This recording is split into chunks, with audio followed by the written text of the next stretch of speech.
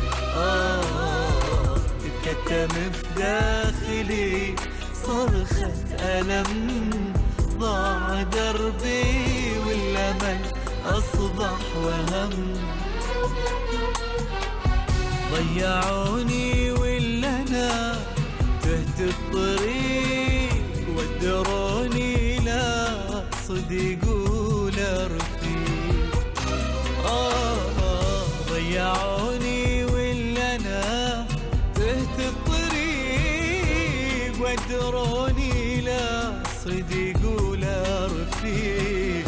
ودروني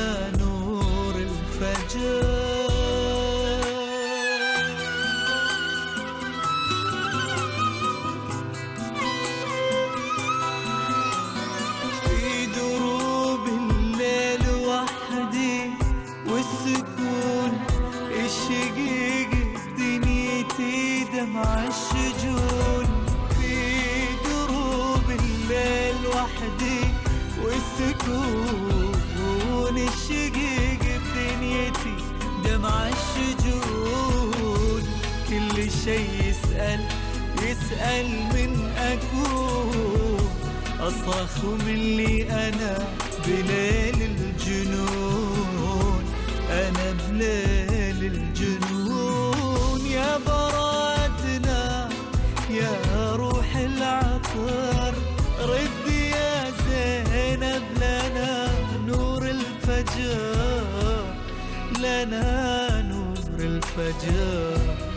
لنا نور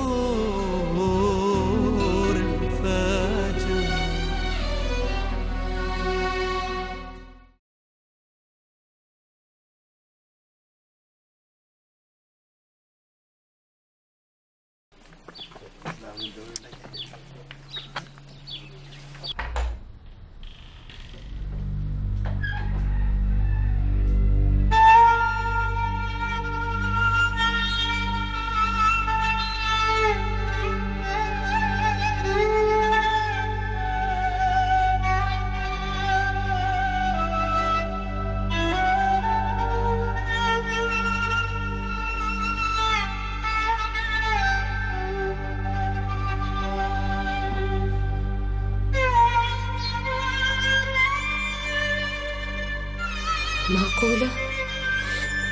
أيسر؟ ليش؟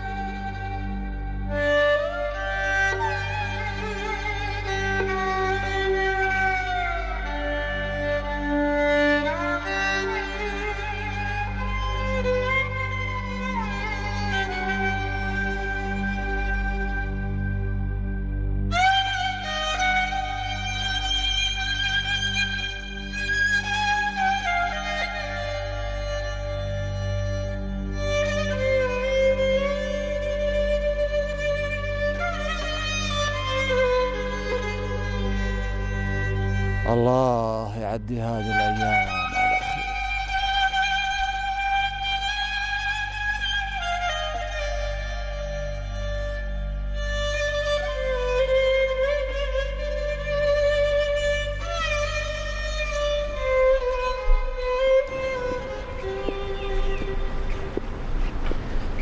ها كيف؟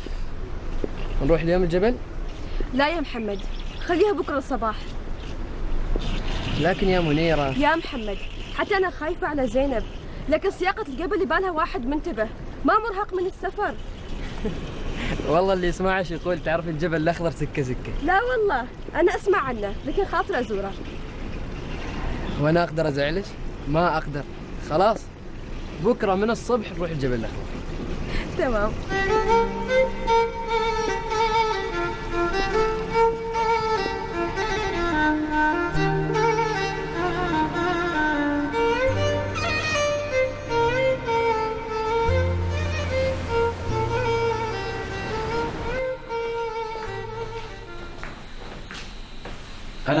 صار قبل شوي يا سارة أرجوك لا تزعلي مني أنا لا يمكن أزعل منك يا شيخان.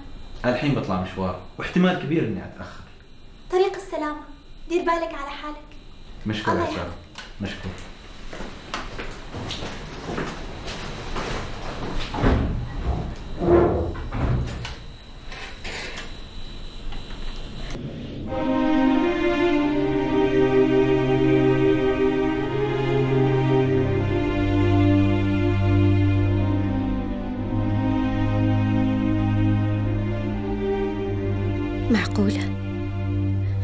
معقولة نبيلة معجبة بعيسى؟ وأنا ما أعرف إلا الحين. معقولة كل هذه السنين؟ وأنا ما حسيت بهذا الشيء. وأخوي أحمد أخوي أحمد عايش مع وحدة. وهي أستغفر الله أستغفر الله العظيم.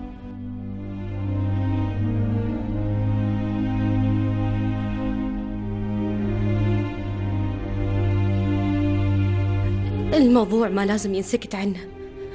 أحمد لازم يعرف كل شيء. أحمد ما نقص الحين يسمع شيء جديد من المشاكل. يكفي عليه غياب زينب بنته.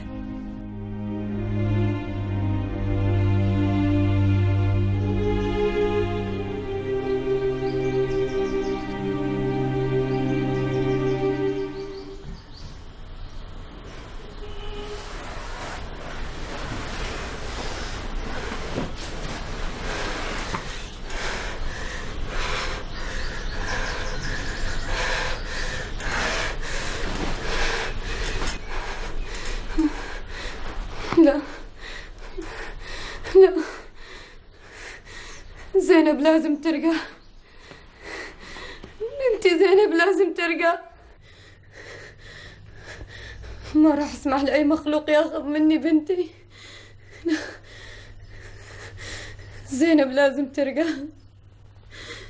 زينب لازم ترقى.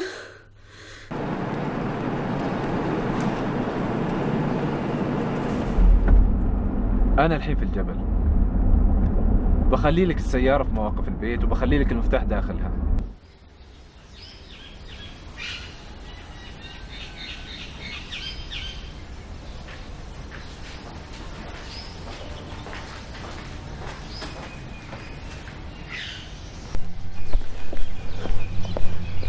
طيب.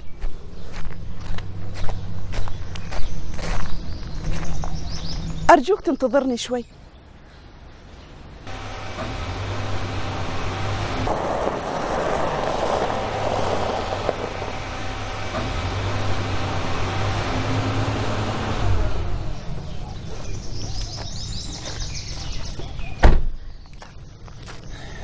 تفضلي يا أستاذة أمل.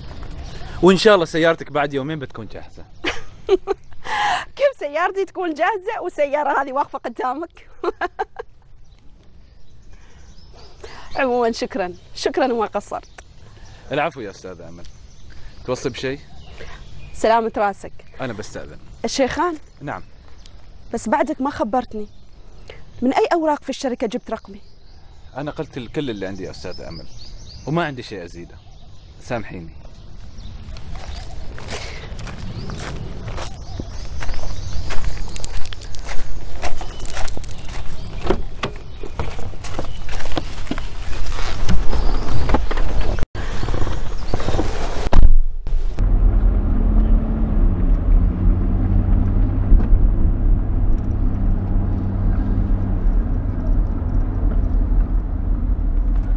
شيخان؟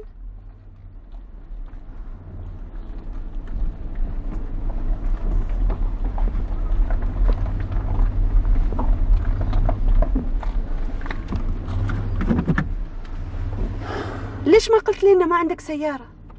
افتكرت إنه في حد جاي معك عشان يرجعك. أنا غلط غلطة ولازم أتحملها. عشان تنتبه مرة ثانية أنت تسوق خاصة لما ترجع على ورا. يلا تعال الحين خلني أوصلك. لكن خلي عنك لكن وما لكن تعال خلني أوصلك. بس يا أستاذة أمل أخاف إنه هي تعال اطلع خلني أوصلك. شيخان والله ترى ودرك وأروح عنك وبعدين نشوف من يرجع لك. يلا. أمري لله.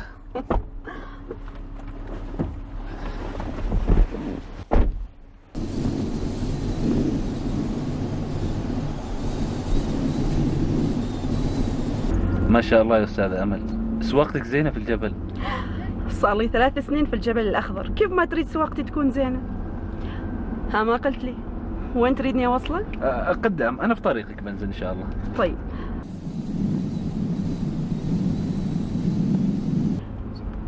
شيخان.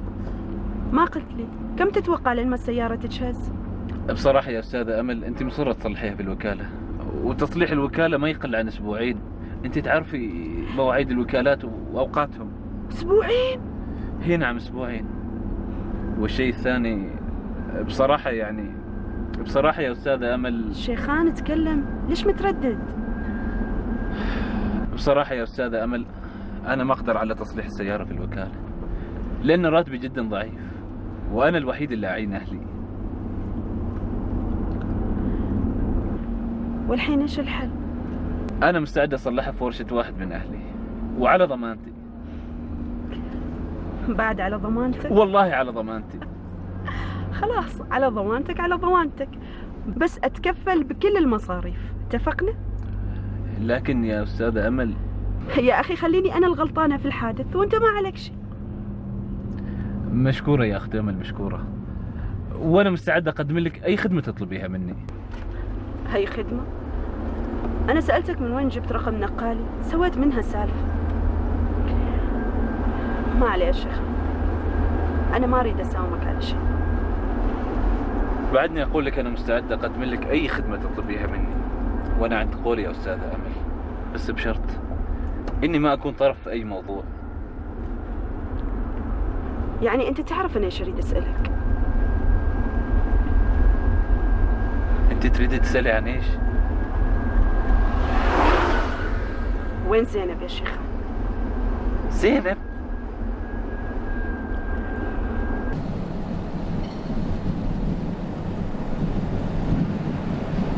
يعني إيش؟ يعني يا أستاذة أمل كبر عقلك شوية. الأستاذ عيسى لا يمكن يفكر التفكير اللي أنت جالسة تفكريه. أستاذ عيسى ما ممكن إنه يخطف طفل ولا طفلة مهما كان دناءته مهما كانت حقارته. بس أنا بنفسي سمعته وهو يتكلم في النقال ويقول خلي بالك عليها تراها أمانة عندك ولما أطلبها ترجعها لي. إيش معناته كل هذا الكلام؟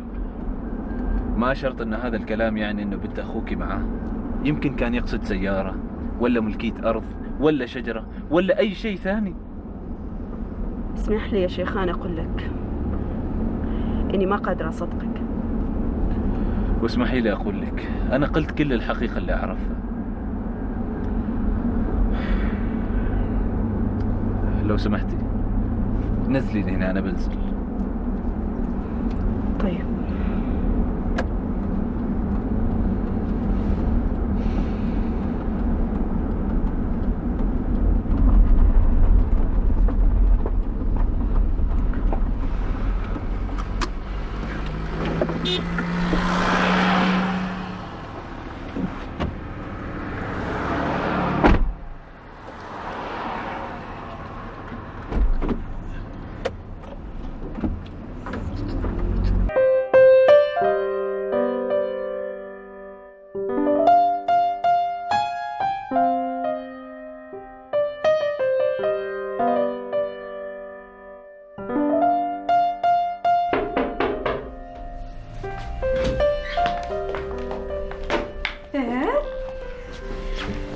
حبيبي؟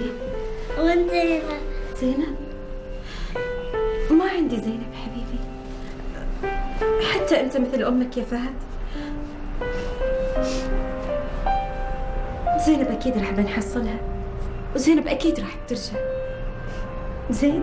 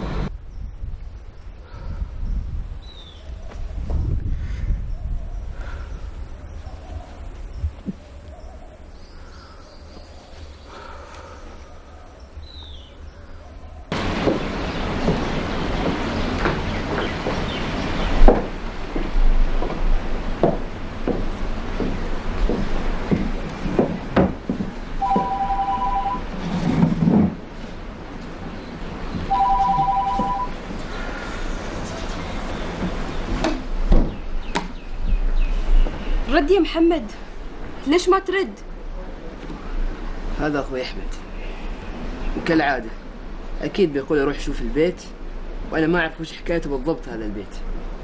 يعني زين الحين كذا؟ أكيد أحمد زعل منك. ما أعتقد.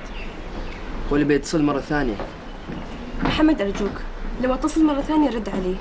يمكن بيخبرونا إنهم حصلوا زينب. لو حصلوها كانوا كلهم بيتصلوا فينا.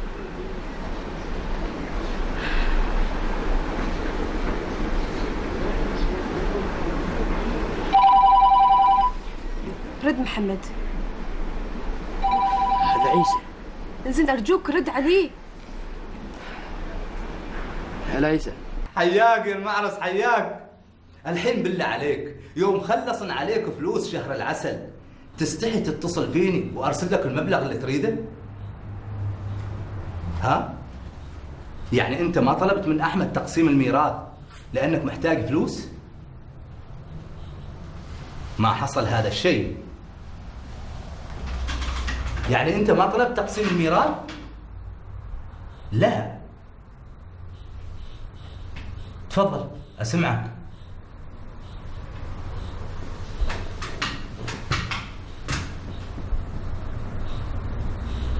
بيت أحمد.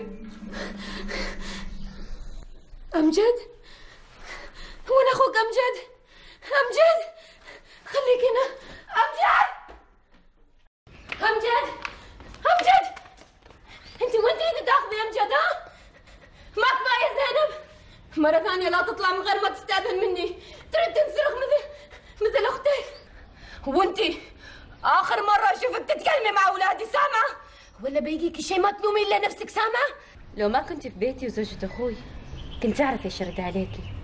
أنا محترمتنك بس لأنك أم زينب فهمتي ولا لا؟ أنا أصلا ما يشرفني أبقى في بيت واحدة مجرمة مثلك. بطلع من بيتكم لما ترجعي لي بنتي.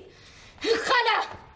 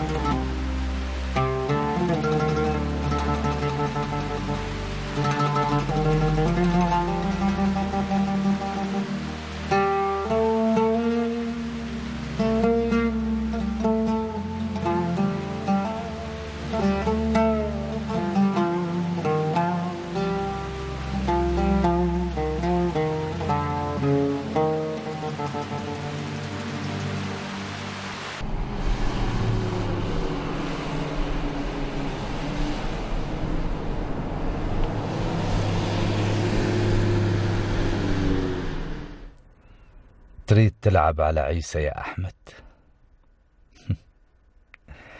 تلعب علي أنا يا يا نسيبي. أنا وياك والزمن طويل. خير.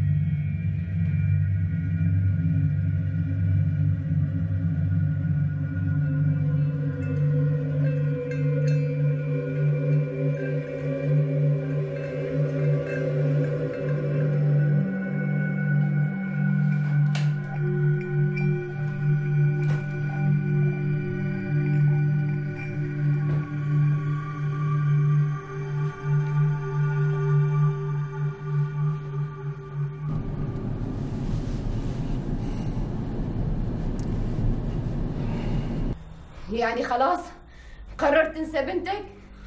تنسى زينب؟ صرت مهيئ نفسي لأي شيء أسمع عن زينب. يعني إيش يا أحمد؟ نتخلى عن البنت بكل سهولة؟ ونقول خلاص ضاعت منا البنت وما في أمل نرجعها الأمل في الله الأمل يحتاج إلى عمل وأنا مستحيل اجلس كذاك مستحيل. أريد أعرف أختك وين ودت بنتي؟ وين ودتها؟ يا نبيلة! لا لا تقولي شيء. ما تروح تدور على بنتك وأنا بروح بدونك. بروح أدورها. مرة ثانية وثالثة ورابعة وخامسة وعاشرة وسابعة. بدورها ما برجع إلا من حصلها حية ولا كانت ميتة.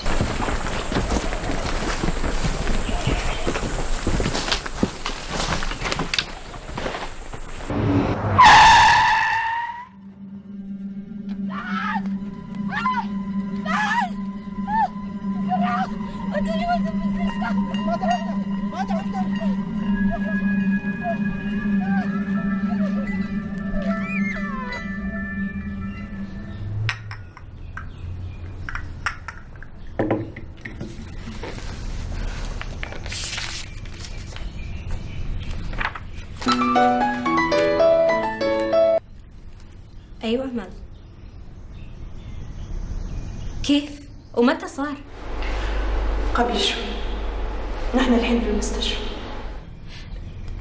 زين وكيف فهد الحين؟ بعد بغيبوبة. أنا الحين بجيكم. لا يا حنان لا تيجي. أنا متصلة فيش عشان ديري بالك على أمجد.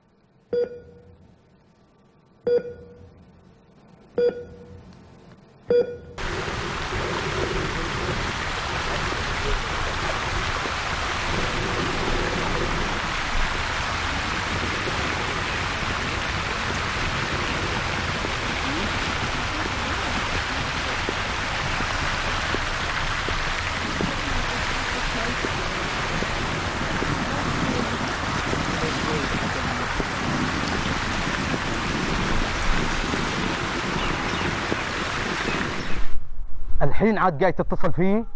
الحين؟ وين كنت لما اتصلت فيك؟ ولا جالس تدور لك على كذبة علشان تكذبها علي؟ أكذب. ومن متى كنت أنا أكذب عليك يا أستاذ عيسى؟ اذا إيش كنت تسوي قدام بيتي ولما شفتني هربت؟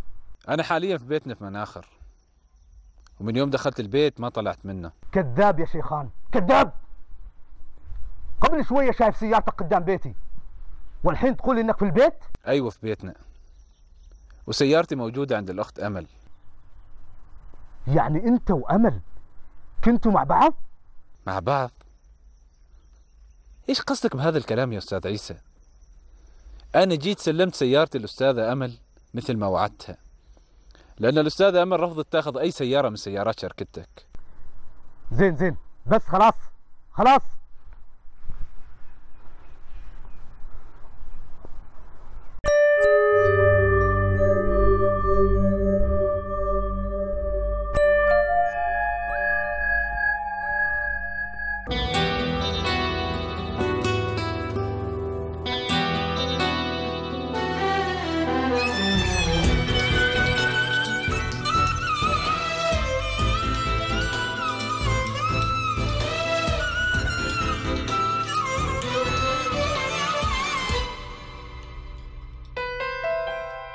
تنبض بصدري بدا القلب الهموم تسري بعروقي لواهي السموم.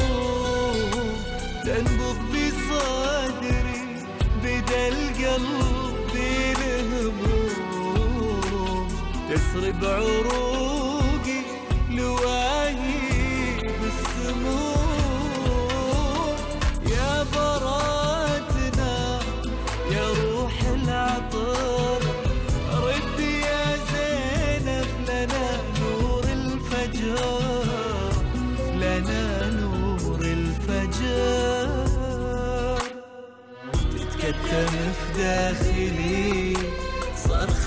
الألم ضاع دربي والأمل أصبح وهم آه تكتم في داخلي صرخة ألم. ضاع دربي والأمل أصبح وهم. ضيعوني ولا أنا تهت الطريق والدروب ಸುದಿಗ